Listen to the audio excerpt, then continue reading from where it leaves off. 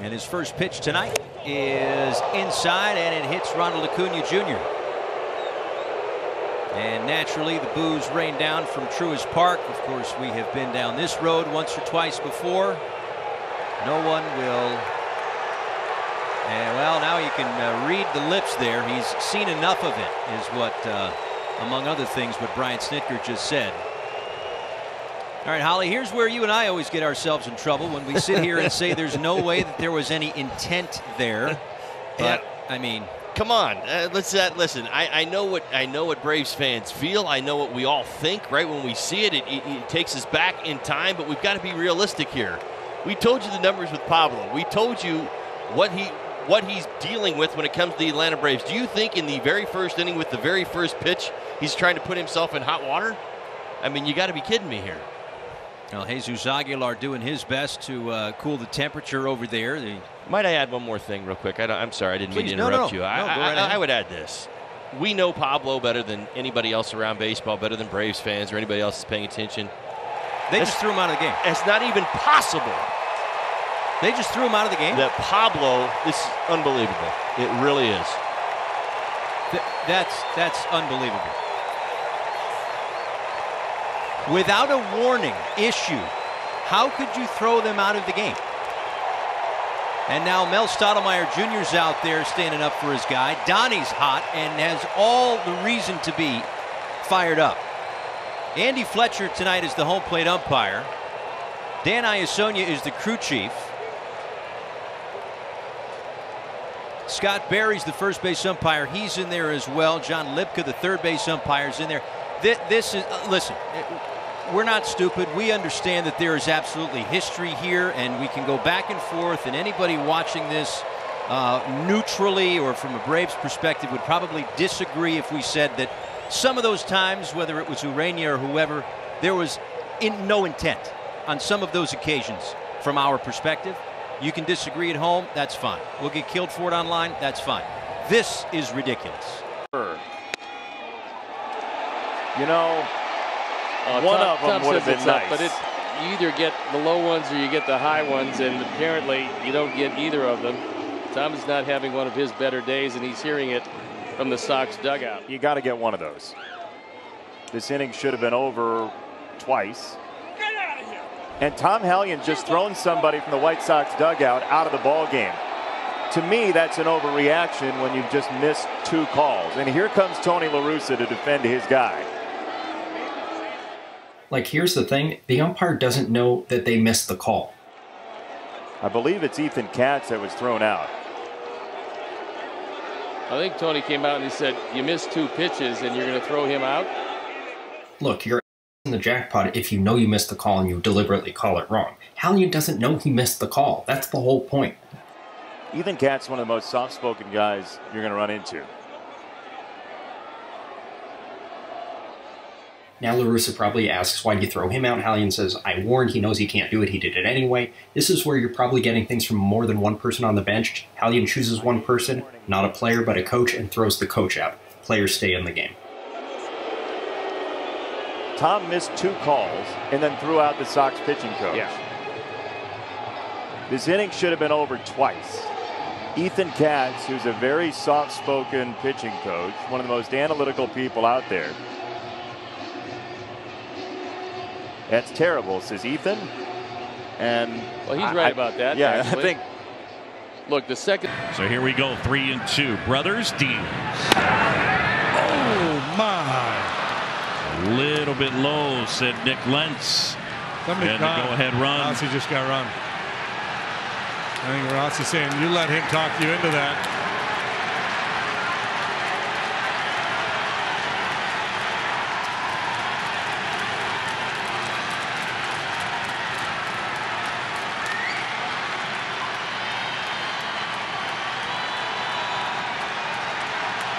Nine games of frustration built up If Joe's body language is so bad, they're dismissive. Rossi's going to keep making his point. And Joe tries to waltz him back to the dugout. I mean, it, it's it's a borderline pitch. It might have been down a little bit. But what a comeback by Brothers after falling behind 3 0. He made three quality pitches, and this one certainly could have been called a strike. David Ross ejected.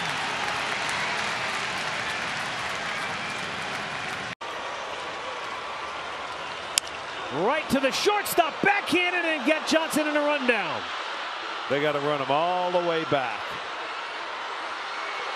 And they do, but getting in there safely is Hernandez, and they call him out on a double play. Now wait, did he come off the base?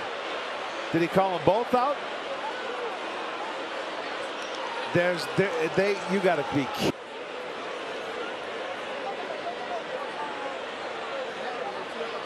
He's explaining to Tito what went on. Wait a minute. Correct me if I'm wrong, but my hunch tells me that Tito was okay until the third base coach stuck around and continued the argument. Because the third base coach continued, I think Tito gets worked up. Because I think that Hoye would have sold this call if it was just a one on one conversation. And I think that Tito went off with the coach's energy. Because what Hoye is explaining is that when two runners are occupied with the base, and you're going to read his lips in a second and he's going to say the exact same thing, the trailing runner is out when tagged, not a force play.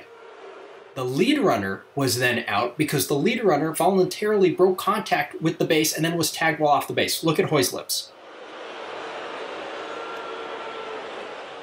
So again, Hoye tells Francona, both runners on the base, both tagged. That means that the trailing runner's out. I don't know why the lead runner came off the base, but because he came off the base, he was out when tagged. Tito and third base coach come up with, well, you called the lead runner out. That's why he came off the base. And it's the umpire's fault that the lead runner came off the base. We'll go to the replay in a second, but here's an ejection. Not going well, and Tito has just been ejected.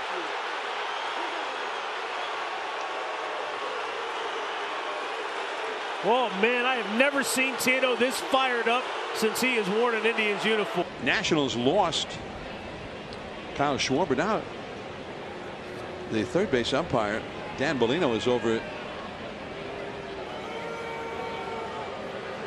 And he's talking to somebody in the Giants dugout, and Gabe Kapler is taking up the conversation. Well, it could be Jose Alvarez who's still upset about the strike zone he got from plate umpire David Rackley. He still could be chirping down the runway. But at any rate, Dan Bellino had had enough.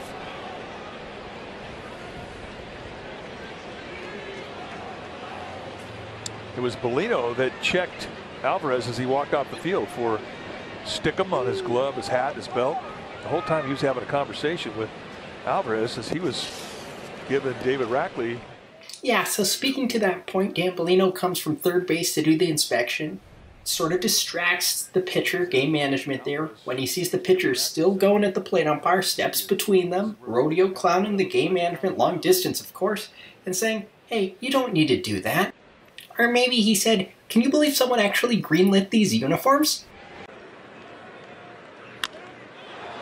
in the air to left field. Yelich going back towards the wall. That ball is gone. A three-run home run for Nick Castellanos, his 18th of the year, and with one swing of the bat, the Reds take a 3-1. Frustration for Freddy Peralta. He wanted. Remember, if it's a hollow white circle, the computer thinks the pitch was a ball. Parts after five plus, it's 3-1 Reds. While we were away, the Counsell came out and was tossed from the game.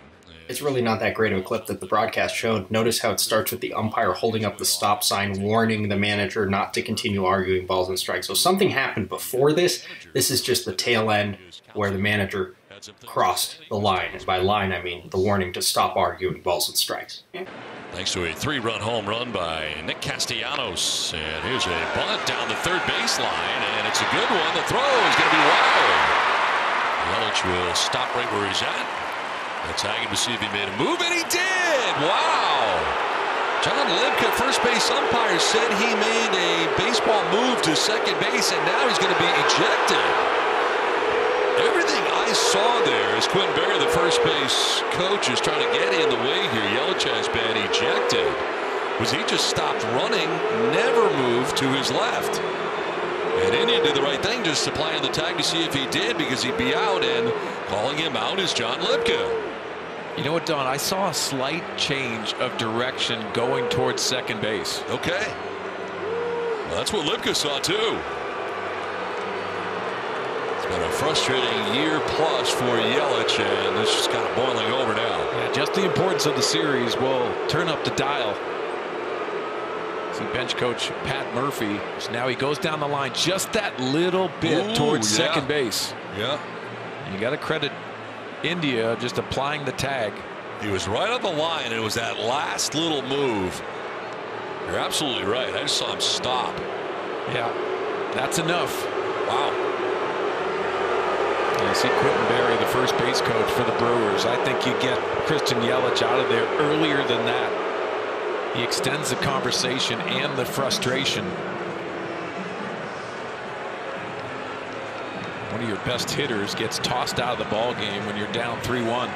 Yelich was about to be the lead runner on here for the Brewers in the bottom of the sixth inning, but instead he is out and credit India for having the presence of mind just to slap that tag on just in case. Well, it worked out to be more than in case. He's out and thrown out of this game. And did he go? They will check. Yes, he did, says Doug Eddings. And Votto is furious. That was ball four right there. And Votto has been tossed. So ejected by Doug Eddings after the strikeout. Jeremy lets me know about this ejection and says, just put up the hothead chart. Well, here it is. Probably have to update this because I think Votto moved up a few spots with his second ejection of the year. We're not even at the All-Star break. So he was headed to the clubhouse, but then turned and came back onto the field. Ryan Honora is going to come over and intercept him. So we've had uh, players ejected from both sides in this one. Seeing Votto approach the umpires in a different demeanor here strikes me as, and we also saw similar behavior with Votto's first ejection this season with the fan, and even prior to that, similar to a person who might not realize what they're doing during the emotionally intense situation in real time, might not realize the animated gestures, demeaning and degrading conduct, etc. As the camera captures Votto, then goes to Doug Eddings, his hand is out, telling Votto to stop doing whatever it was Votto was doing, and Votto continues, and Doug throws him out. Usually that gesture to the eyes towards an umpire is considered grounds for ejection, and it might be my predisposition toward grouping similar behavioral contrasts into certain schemas, but this reminds me of something I see in social work, and if you wish to connect those dots, go ahead, I digress, but more to the point. I would have loved to see a replay of the check swing call from the side angle that we've all grown so accustomed to. And again, a called strike three. He's throwing one breaking pitch after another. I know Brad's not happy with that call. I think he thought it was low, and he's out of the game. He's just thrown out of the ball game. I, it looked like a pretty good pitch, Ruben. And Ronald Torreyes is trying to keep Brad Miller away. A little bit of a mismatch. I don't know, Ronnie Torrey is trying to pull him off. so he doesn't do anything ridiculous.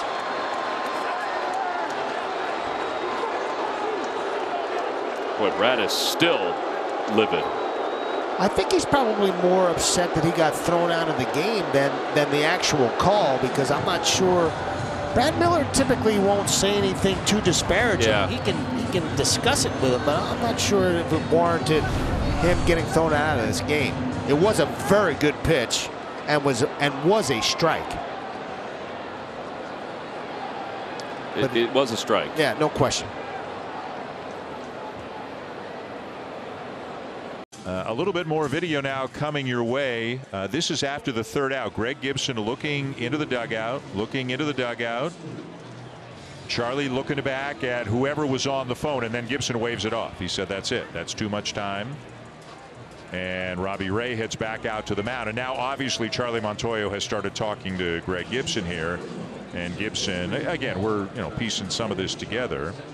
And he's saying, I gave you as much time as you're allowed. And Charlie didn't like that and got tossed. A slider gets him. And Cole's out of the jam, keeping the game tied. Red Sox bench is irate. Remember the half swing's definition? Did he strike at the ball? Did the bat strike at the ball? Did it move toward the ball in an attempt to hit it? Your mileage may vary. Appeals board will look at it. Situation with the bases loaded. And that blow up in the Red Sox dugout did come with an ejection. The bench coach, Will Venable, was thrown out. And Kevin Plawecki, who was on the bench. What it was with all the wave offs, like the brush up? Like yeah. that's the. They said to go, go, go. It's a fair ball! It's a fair ball! Oh my goodness! It's a fair ball! Do you believe this? It's still in play! Pirates score three! Oh my gosh! We've seen it all now! We've seen it all! Taijuan Walker! There goes Rojas. He might not be the first. He just bumped the home plate umpire. We have seen it all. Walker shoveled the ball away and it was fair. And the Pirates score three. Rojas incensed. It takes the whole crew of umpires to keep him away and some Mets coaches. You can't review it. The Pirates lead six to nothing. Now, what we could have, watch this. Now, the umpires apparently on their own have decided to talk it over, and now you'll see Derek Shelton go bananas. You can't challenge it, but they can talk it over. And Shelton will, he's ready to go crazy here if they change this call. Joe Maddon, for the 58th time in his managerial career, has been ejected this afternoon. Started out a discussion with home plate umpire Bill Miller. It got progressively more animated. Joe's still out there getting his money's worth. He has been ejected from the game. I got to imagine, Gooby, that it's the strike zone being discussed here, right? Because it, it has been a little, I'll say, erratic. Yeah, today. oh, definitely. And a couple of times there's forced hitters you know, on his team in, in spots where they had to expand the strike zone because there were pitches called off the plate. This one got him. Marlins are asking for an appeal to see if he swung. First base umpire Cory Blaser said he didn't. But Davey Martinez much more concerned about the health of Alcides Escobar right now. Got him in the right arm, the back arm, maybe back elbow, funny bone. Forearm, wrist. Corey, but he doesn't want to get thrown out yet. Pitcher walks out with the horse and goes to the dugout with the horse. There's Richard Bleier. He's still talking to the umpires out there. Whoa. And he's just got run. I don't think he can do that. Cory Blaser, I'm pretty sure that's a no-no. Pretty easy call for the first base umpire there. He likes horses so much, Cory Blaser's treating him like one with that go command. Surely frustrated about giving up the game-tying run here in the sixth inning, but FP, this is our Hyundai Exmo. I, I don't know if he thought that Escobar swung. I don't know if he thought that he leaned into the pitch. Regardless, he's still chirping down there from the Marlins dugout. Shildt has just been ejected. This is live. And he was barking at home plate umpire Jeff Nelson. I would imagine, Ricky, part of this conversation was look, they were barking on the other side about a pitch that you called a ball. That's the same pitch, and now you call it a strike. Yeah, there's nothing worse when you feel as if uh, you, uh, the umpire was manipulated into making a call. Here's the pitch, setting up off the corner. It's off the corner by a couple of inches. Dylan Carlson, who does not argue very much, was uh, questioning the home plate umpire, and uh, he didn't like the response he got. And Mike Schopp came out and met Dylan as he was walking back to the uh, Cardinal dugout, and he got in front of him and he took over. And he took over the argument, and then even to the point of getting tossed here uh, between innings. Three in the top of the ninth for the Giants. 4-2 to the bottom of the ninth. Dodgers from up 2-1 to down by two. And Dave Roberts between innings was ejected. Well, Max Muncy was chirping a little bit, and all of a sudden Dave got out of the dugout to protect Max, but then decided I'm going to finish the argument for him, and he's going to watch the bottom of the ninth from his office. Hoping the Dodgers can produce some magic again against the same guy they produced it against last night. Seventh pitch from Jansen to Ruf. Did he go? No tie game. And Dave Roberts is losing his mind. He's thrown out. And he's going to go get his money's worth from first base umpire Ed Hickox.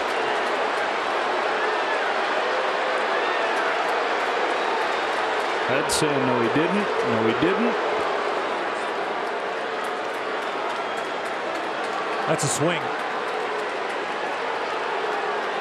It's where the bat travels. Yeah. That's a swing. You can look at the wrists and say the wrists don't break. That's not how it's done. It's done by how far the bat travels. You can swing a bat by twisting your hips and not breaking your wrists. Dave Roberts has a point. He walked him.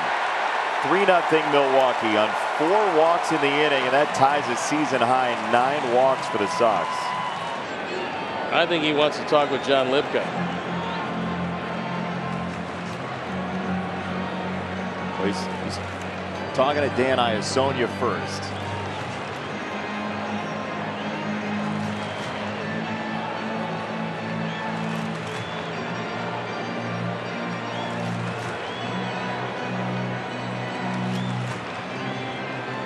Good for Tony. I mean, look, there have been some some calls that could have gone the other way tonight. It looked like they were in the zone and weren't called, and now Tony's going to get rung by Libka. And I think when John goes back and watches, he'll realize there were some key misses here tonight. I think Iassogna is telling him those were balls. And Tony said, I don't think they were. And Tony's right based on our strike zone. Good for him. And you got to go out there and sometimes when something's on your mind, go out there. You get rung up. Doesn't really matter. That one right there. I mean, not calling that. That's what I'm sure Tony was unhappy with. Will be in. And uh, the comedian Jimmy Pardo, huge White Sox fan, is coming with his family. I think they are just in the process of yelling at John Libka from the Sox dugout. Called a strike on a pitch that was a good three inches down and out of the zone. Yeah, he's getting buried. Yep. Now he's going to scream back at the dugout. He can throw anybody out all he wants, but he's missed a bunch of pitches tonight. Yeah, this is one of those nights where John, who normally does a nice job behind the plate, he's not having a good night. The boys in the dugout were letting him know. That Tim's, wow, Tim does not think John Libka's strike zone is very good. The word was terrible.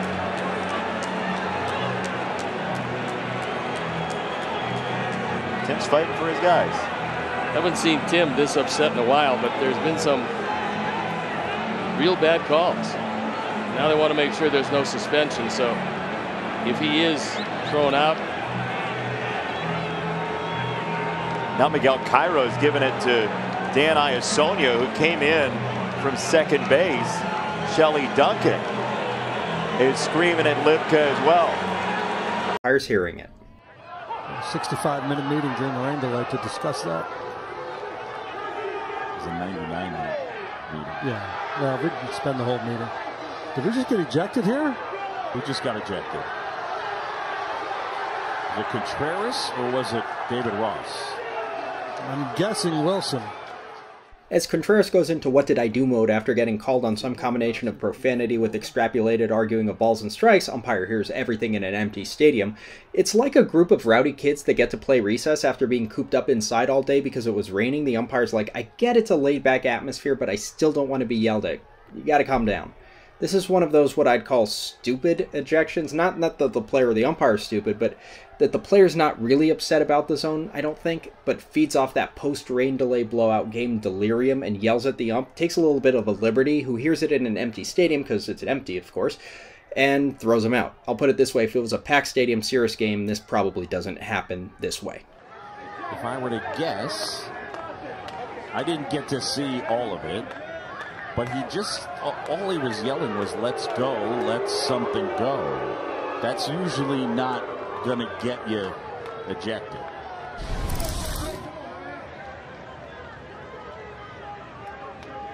Yeah, I mean, I mean, it's a borderline pitch, but yeah.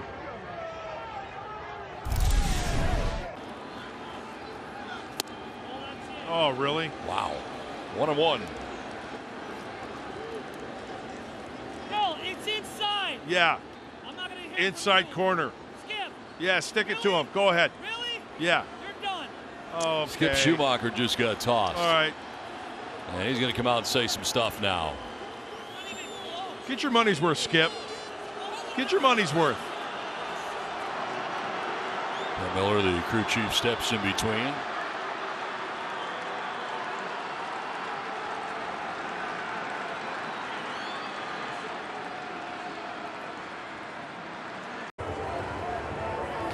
Welcome back. While you were gone, Mike Shildt got his money's worth.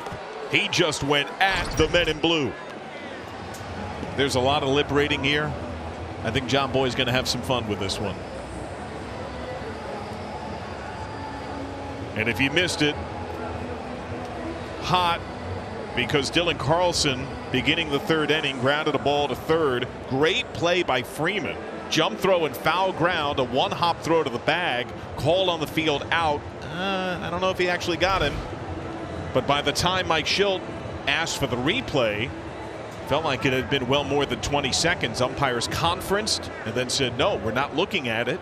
Lane umpire Chad Fairchild was taken back to his childhood when um, Cabrera had this little message for him.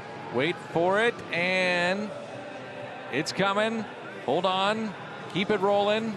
Oh. They didn't keep it rolling. He kind of stuck his tongue out at him as na na na na na na kind of thing. And then he promptly was ejected from the game. He's played basketball when he's not pitching. And he gets a call again. Sneaks that one in the back door and strikes out Holt for the first out of the inning. And Holt not having it. He's not, and he shouldn't. Now, Oh, Brock Holt getting tossed. tossed out of this game. But remember, yesterday, too, he had a call go against him. That was pretty unfair. And so eventually, you're going to pop. Oh, what he's going to. Oh boy. Well, you, you'd understand the frustration's a little high for all those guys in Rangers blue. But I, on top of it, Timmons has been frustrating today. He has, and it's been both sides of the plate. You cannot open up both sides of the plate. We talk about the idea of getting a couple of inches here and there.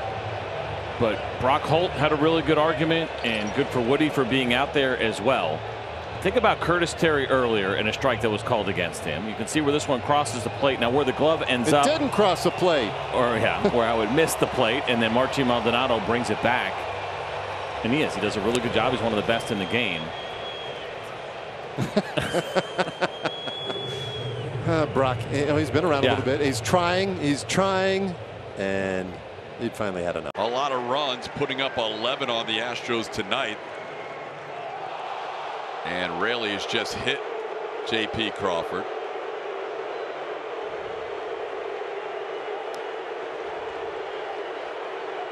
Scott Servais not happy.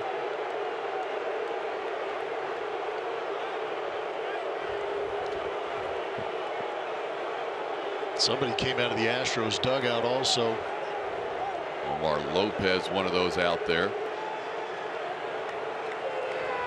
There was no intent behind that from Brooks Raley, but Scott Servais taking offense to it. Lance Speaking McCullers out there. Dusty Baker out there.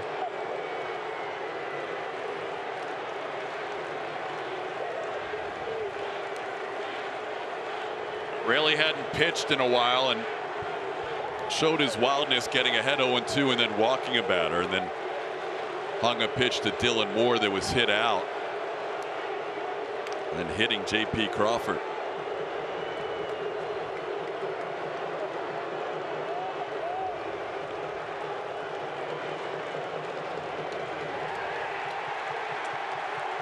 And now, yeah. Brayley's just been tossed. After all that, why does he get tossed now? Because they're assuming something exists when it doesn't exist. This guy hasn't pitched since July 4th. He has shown he hasn't had command. Servais basically got him ejected. That's what Maldonado's saying. No, and he's saying it's a breaking ball. Yeah. Why, why are you going to throw at somebody with a curveball or a cutter? Cutter, I think. Yeah. Tries to check. Man.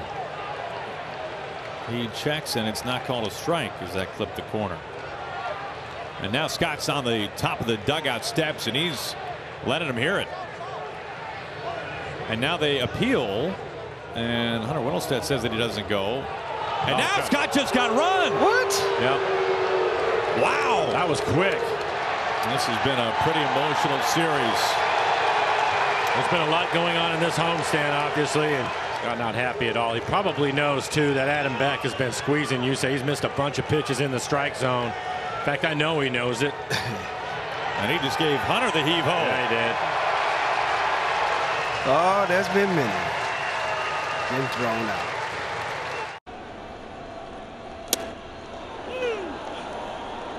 Strike three. Wow. Wow. Gave him a pitch way off the strike zone. And Torres cannot believe it. It gets thrown out of the game. Not allowed to argue balls and strikes, but that was tough for Gleyber Torres. That was clearly outside, and now Aaron Boone will have to talk things over. Oh, called strike three.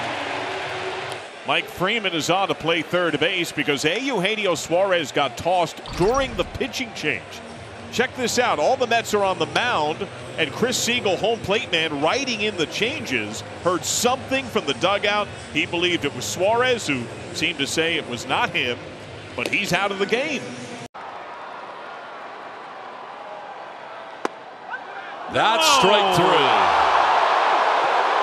Jayce Tingler comes flying out of the dugout, and he'll be ejected. Said the ball was down. Here's the thing, Jayce is right. That you cannot argue balls and strikes, and the Padres will leave them loaded. We'll get another look at this pitch. That's down.